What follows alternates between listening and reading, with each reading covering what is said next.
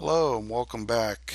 Uh, again, my name is Greg and I'd like to welcome you to the GNS3 uh, configuration section of installing GNS3 1.3.x.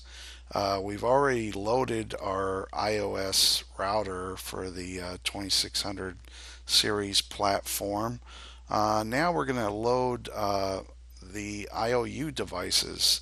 So to do that, the first thing you want to do is add this um, IOURC license path.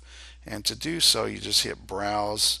Um, mine is under the uh, C, GNS3, uh, projects, or excuse me, GNS3 images. uh, and then uh, you'll see this IOURC file. Uh, so you double click that and it puts that path in right there. Uh, so from there we have to load up the, the uh, IOU VM into VirtualBox. So let's bring up VirtualBox. And to do so, you go to File, oops, File, Import Appliance, and browse to where that file is at. And again, I keep mine in C, GNS3 images, and there it is. Uh, so you want to make sure that this is the latest one.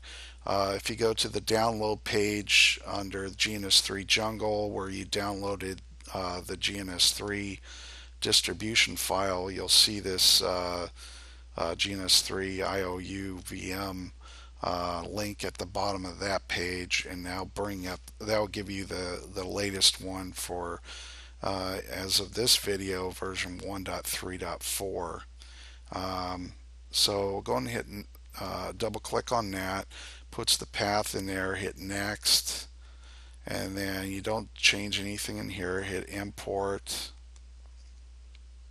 Let that import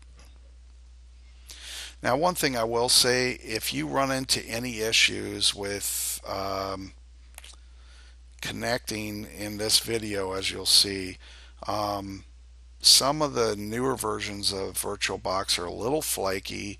Um, and um, right now, the one that seems to be the most stable is not the latest. It's 1.3.22 um, R98236. Um, if you use any of the newer ones, sometimes uh, you can't ping the IOU VMs or the path doesn't show up as you'll see here in a minute. But let's go ahead and start it so we can bring that up and I can show you what I'm talking about. So the first thing you do is you click change network settings. Excuse me and what that does is uh, brings up the network adapter um, settings for the VM. So go and hit OK. And then it loads. And this doesn't take that long. It takes about 20-30 seconds for it to load. Okay, this is what I was talking about. Um, sometimes, and I don't know if it's a VM issue or a VirtualBox issue, but I've seen some VMs that this the IP address that it tells you to load in your browser uh, doesn't show up right here, um, and I'll show you what that's supposed to be. Um, but the best way to verify if it's working is to ping the the remote. Um, let me show you that real quick. This, if you go back to server, remote servers, you ping this address, and that's really the address that you need to put in the browser, as you'll see here in a minute. So let's go back and ping that. Uh, where did my, here it is. So let's ping 192.168.56.101. Okay, we're pinging. As long as you're pinging it, um, you can uh, connect to the VM inside the browser and upload your, your images as you'll see here in a second.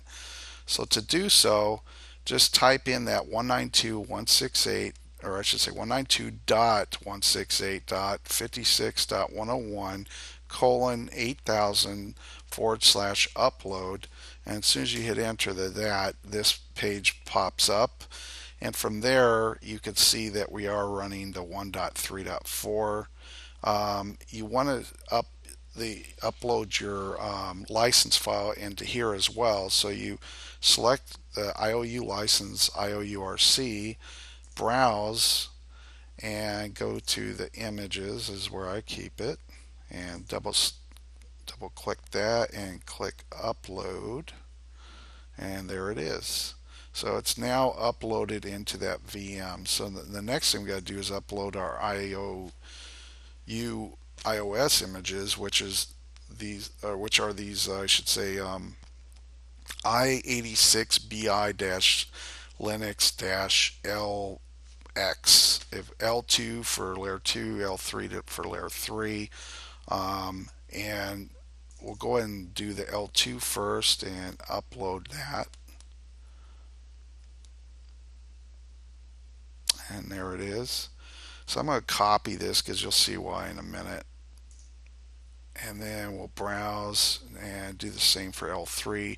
L3 takes a little bit longer, so while we're waiting for that, we'll go back to GNS3 to IOU devices, and let's go ahead and add the L2 device. So we go New, Next, OK. Uh, make sure this is set to L2 image, paste that L2 path in there, and then type IOU underscore switch. All right. And then we'll do the same for layer 3. Okay.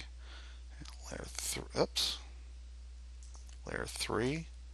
And now we got to go back and get the layer 3 path as well. And that's this bottom one here. Copy go back to GNS3, paste that in. And there we go. So put IOU underscore router. And now we got our switch and our router in there. So go and hit apply and OK. And now we have an IOU router and switch in here. Uh, so that's pretty much it for loading um, an I, or I should say configuring uh, IOU and IO uh, or IOU router and IOU switch.